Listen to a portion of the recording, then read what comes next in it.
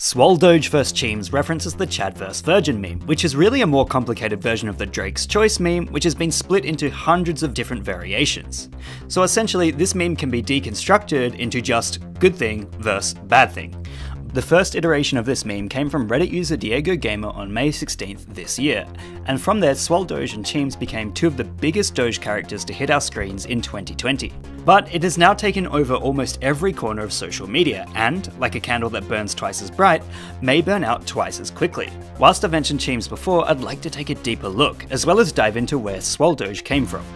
You wouldn't know it from just looking at him, but Cheems is currently described as a god of time and space, according to his own lengthy Doge lore page. However, the original Cheems image came from Instagram user Boltzy on September 4th, 2017, but didn't really take off until 2019 as Reddit user Spicy Meme Boy posted this. In it, Cheems eats a cheeseburger along with Doge's girlfriend, earning him the title Cheemsburger due to his inability to say cheeseburger properly. This language is reminiscent of the way lolcats used to speak back when I Can Has Cheeseburger was considered the height of comedy leading up to and during the early 2010s. Although, when it comes to Cheems, this sort of language is described as a speech impediment, and quite often Cheems is sensitive or upset about the way he speaks. This may reflect the current attitude of people who look back on the way memes used to be and feel embarrassed about their simplicity. Memes back from 2010 are not going to be funny now because they are far more one note and have far fewer inside jokes and meta commentary than current memes.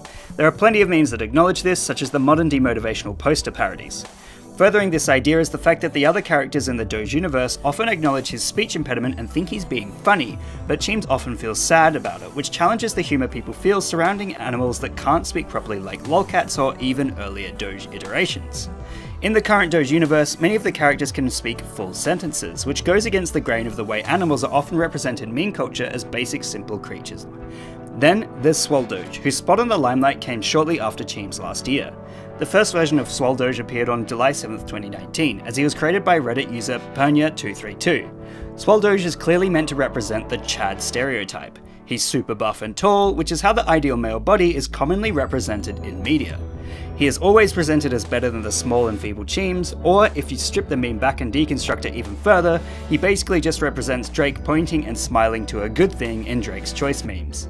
Ultimately, whilst the Swole Doge vs Cheems meme seems to be blowing up right now, it is clear where its influences come from. However, perhaps the best thing to come from this is the established relationship between the two fictional characters, and the fact that they are involved with a massively complex encyclopedia of lore is fascinating. There is no doubt that future historians and academics will look at this wealth of knowledge surrounding silly dog memes and come up with many different conclusions about the wacky and uncharacteristic mindset of this era of the internet. What meme would you guys like me to give a lesson in next? Let me know in the comments below. And remember, like and subscribe.